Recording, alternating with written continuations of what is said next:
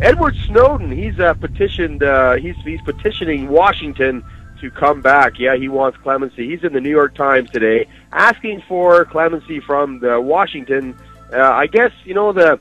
Uh, speaking of shine wearing off of things, the shine must have worn off of Russia for him since you know Russia is still a horrible place to live. It hasn't really it hasn't uh, recovered uh, much from the from the decades of abuse it was un, it was uh, it was it was forced to go on through uh, you know under the uh, rule by atheism. Right. You know, you know, if you want to find out what happens with, when the atheists take over, look at what happened with Yeah. Russia, folks. Well, we're going to um, try. but- We're going to try it down here, and now that we have a leader that can help us, I, I think atheism's going to work down here. It didn't work in Russia. It hasn't worked in China. It hasn't worked in North Korea or anywhere else. But I, I think it's going to work down here because I mean, Obama's brilliant. He surrounded himself with brilliant people, so it'll work. Well, listen, listen uh, I don't know. I don't know about that. I mean, uh, the um, the guy. I got. I got to tell you guys a story that will blow your mind. This happened to me uh, yesterday afternoon. Uh, I was coming up from uh, from from the United States. I do a lot of traveling, as you know. I was, I was coming up from the U.S. back into Canada through Buffalo, Right. from uh, over the Peace Bridge there, from Buffalo to Fort Erie, Ontario. right. and I'm coming up through there, and I stop at the duty free as I'm going into Canada. I'm trying to paint a picture for you guys here. Okay. I'm going into Canada. I stop at the duty free uh, on the U.S. side. Mhm. That's where people buy their booze and cigarettes and all that. So that's I you were buying. Wait, wait, wait, wait. You were buying booze and cigarettes. I was not buying booze Oh, and oh, cigarettes. okay, okay. I, I'm not against. I mean, I'm against smoking because because uh, of because of the addictive nature of it. But I'm not against wine and beer and so Oh, on. I mean, yeah, I, I know, I know. I, am not against that. I'm not one of those uh, people. I- I'm, just not. I I'm know pu- you're I'm- not I'm- either. No, I'm not. I'm pulling you. Now, I don't drink wine or beer, but I'm not uh, Right. opposed to somebody that wants to have a glass of wine with their meal. I'm, I'm not. But I was, I was just pulling your chain. But anyway, go ahead. Yeah, no, no. But I, I realized as I was coming up to the border that I had to go to U.S. Customs because I had some business to take care of there. I could not cross into Canada until I took care of this business with U.S. Customs. Right. And the only place to park is in the duty-free parking lot. Right. So I parked my vehicle there, and it had been a number of years I had done this particular exercise. So what I did was I started walking through U- the U.S. Customs compound Right. right? So here's this Canadian. He gets out of his, his vehicle. He's walking across the U.S. Customs compound, the tarmac there, and I and all of a sudden I look to my right and I see all these 18 wheelers uh, coming at me, and then I suddenly realize I'm in the path of these enormous behemoths, and I'm in their lanes. Yeah. So now I start running. Now, the, now mistake number one was starting to walk across the U.S. Customs compound. That was Right. mistake number one. Yes. Mistake number two was running across the Yes. U.S. Customs Yes. compound. You didn't have a backpack on, did you? I have a beard right now, Carl. You don't know this about me, but right now I have a beard. Yeah. No, but Well, I, s- and I said, but you didn't have a backpack on, did you? No, but but no, but uh, but in, in in that in that similar vein, I sort of look like a jihadi light right Okay. now. Okay. Okay. because my beard is, is sort of is sort of there, and it's well, it, it's I sport it pretty well. It's kind of that Chuck Norris look, you Yeah. know. Yeah. But uh, but uh, here I am. Okay, now picture this in your minds, guys.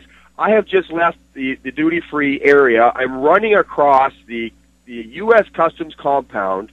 I'm running across with a jihadi light look on my face, trying to start keep from being run over by these 18 wheelers. I mean, that place went crazy. Yeah. I, I by the time I got to the end of that compound tarmac, I had 20 guys with guns pointed at me, Well, good for them. Way to go, That's- America.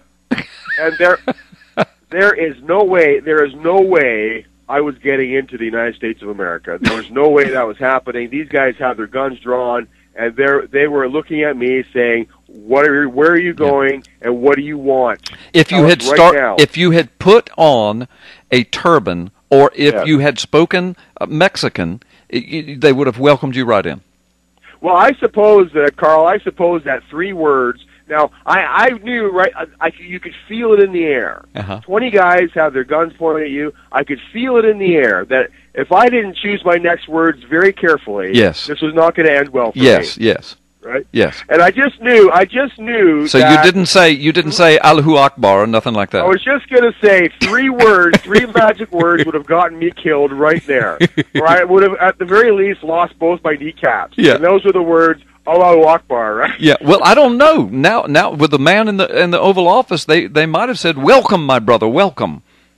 No, no, no. You got to understand now. I I cross the border a lot. Yeah. I want to tell you guys something about the border, the U, the U.S. border. Uh, political correctness does not play into their mindset at all. Well, good. Not at all. I mean, it pl- it plays into the the uh, the uh, the college and the university camp, the, the college and university campi Yeah. in America, The campi. and the and and Washington D.C. Mhm. and all of that. But let me tell you guys something: the, the borders of the United States of America, whether it's the Mexican border or the Canadian border, I'm telling you, those guys are the front lines of defense for the for the country. And political correctness does they, these guys profile in every possible way you can profile. They're profiling. And what you're trying to say is they don't play. I'm telling you, uh, if I now this was this was a very palpable seriousness about Yeah. this event. Yeah.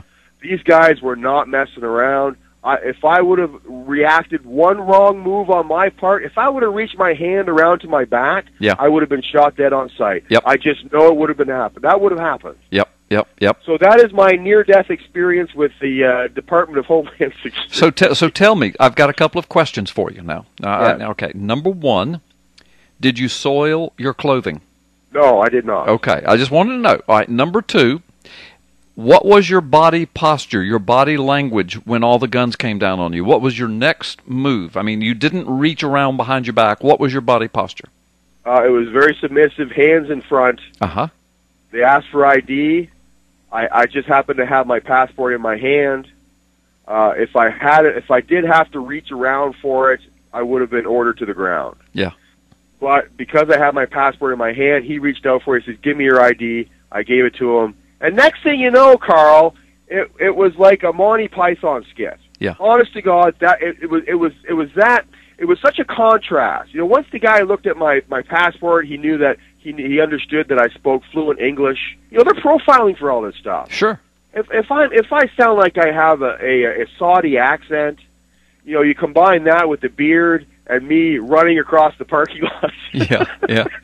Yeah. You combine all those things together, there's all kinds of red flags going up. Here's this guy with his beard running across the parking lot. What in the world's going on? These guys come out, guns drawn. Where where are you going? Where do you think you're going? Who are you? What do you want? And all these questions, you know, they Yeah. they do all the they ask they're trained to do all this stuff. It was all very well handled. I was not getting away with anything. But once they realized that I was only there to do business, I screwed up. I, sh- I said, listen, I, I totally blew this. I should not have run across the parking lot. I'm very sorry. I'm a complete bonehead. I'm just here to, to cancel out this piece of paperwork. Uh, if you could just please help me out. Next thing you know, they're like, oh, well, come on in here. Let's deal with this. This is not a problem. We'll just take care of this. Five minutes later, Carl, I was gone. Yeah.